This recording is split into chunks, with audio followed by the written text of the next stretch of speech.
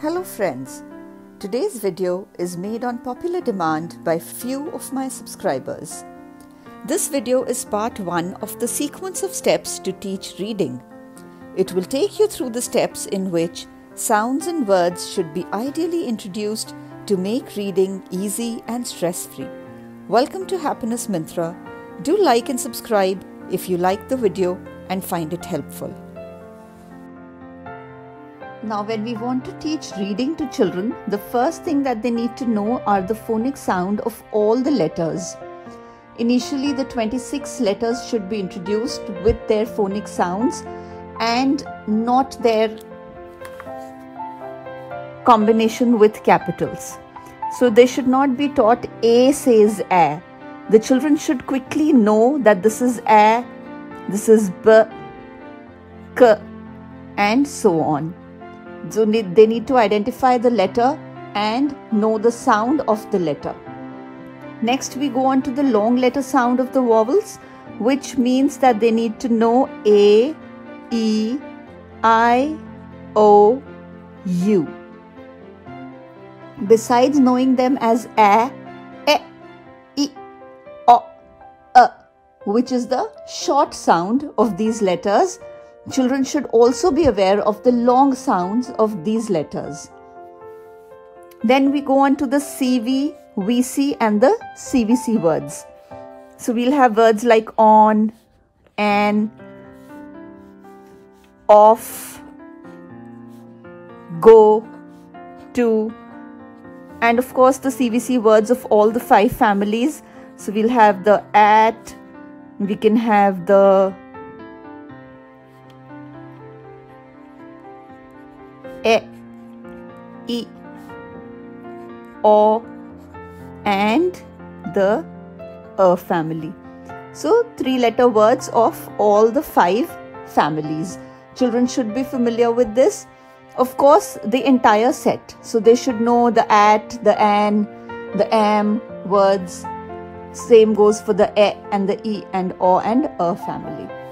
Once they are very comfortable with three letter reading, three letter words. Then we move on to the blends. Now, here often I suggest that sight words should be introduced in simple terms, as in maybe you can start with five sight words. I have videos uh, in the sequence earlier where I've even mentioned what kind of words they can initially start with so that they can start reading short sentences. For example, the cat is fat. Because ultimately our goal is to make them read sentences and paragraphs and comprehension. So uh, uh, from words the faster we switch to sentences the easier it is for them to get more fluent. Then we move on to the blends which is the initially i prefer doing the ccvc blends which means family of blur cl flur gl plur and slur so here the words which would come in would be probably something like blot, clap, flag, glum, plot,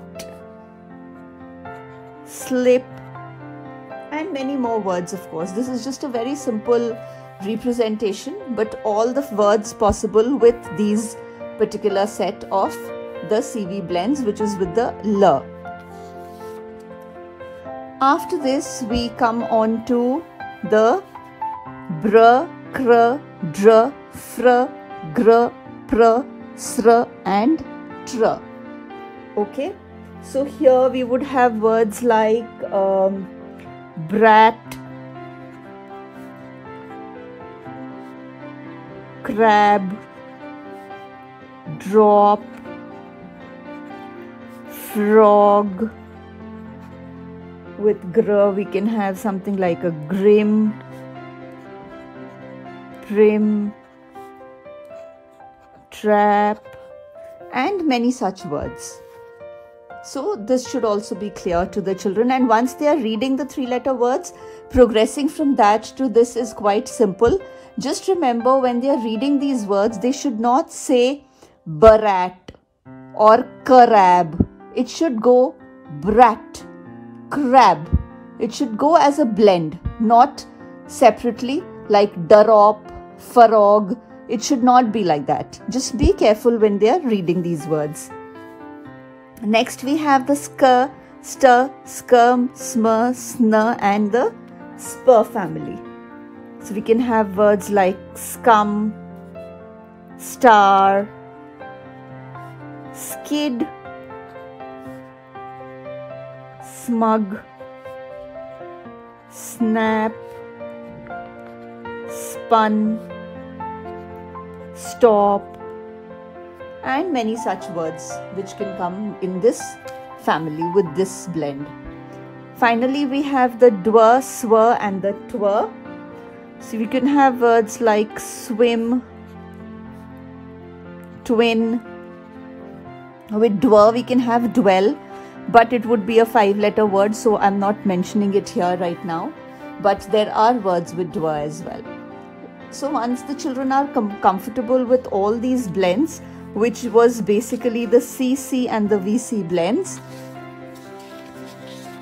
The next set would be the end blends. Now here what we have done so far are the beginning blends because we have the sounds, the blend sounds in the beginning of the letter of the word. Now we come on to the end blends. In end blends, these are all the blends which come at the end of the word.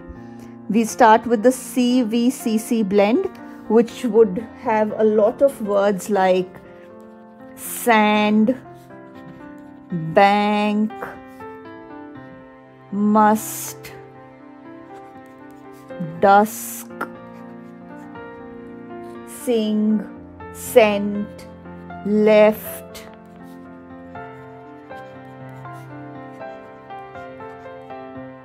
So the word list is endless. There are tons of words which the children will come across once they're reading.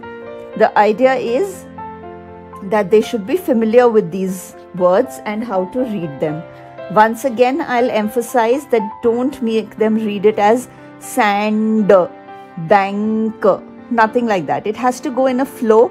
So, sand, bank, help, and many more words like this. Now, there are certain words where the blend in the blend the first letter is not very prominent. For example, a word like calm. Now the l it is not calm or something like that, it's calm. Now what happens here is that the l is not silent because otherwise the word would be cam. Ka is cam but we have the l in between, so it is calm. We have warm.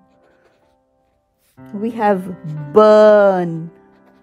These also refer to the bossy R concept, which I'll take up later.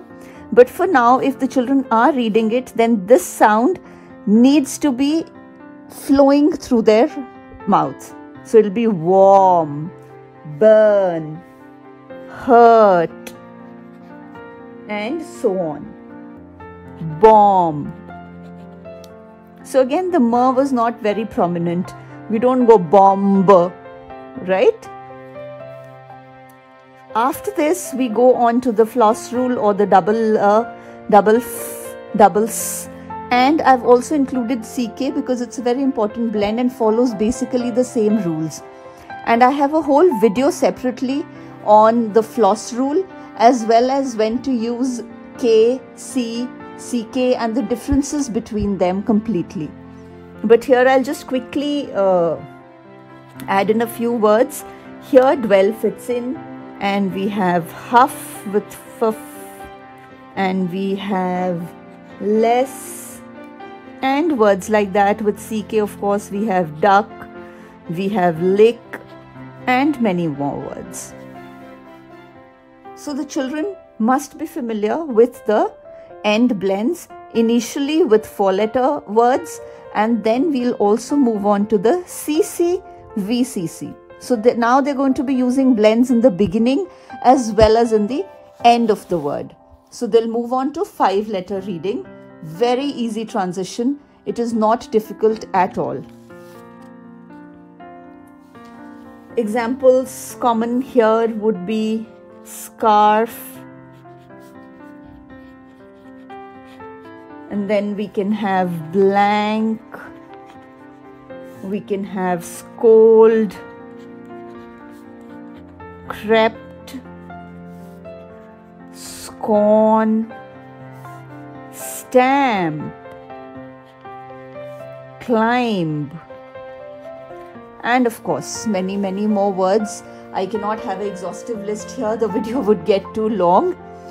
Um, in case you're enjoying the video, do comment below and let me know if there's any other sequence that you normally follow because this is not like uh, a hard and fast rule, but this is what I usually follow with children, and I find that they pick it up relatively easy. Yes, of course, a couple of things can go uh, front and back. For example, some people prefer to introduce the digraphs ch, sh, th, w, and f before they introduce the blends that much of mixing and matching is completely okay. As long as the child is comfortable, you can teach it in any format that you want. So when we do words like this, we have the beginning sounds. So we'll have words like chip, shop, thank, and that. Now, why I have mentioned both is that I prefer to introduce both sounds of th, which is th and the together, so that it's easier for the children to identify. And believe me, as and when they read, and the more that they read, the easier it becomes. It gets into a flow. They don't really have.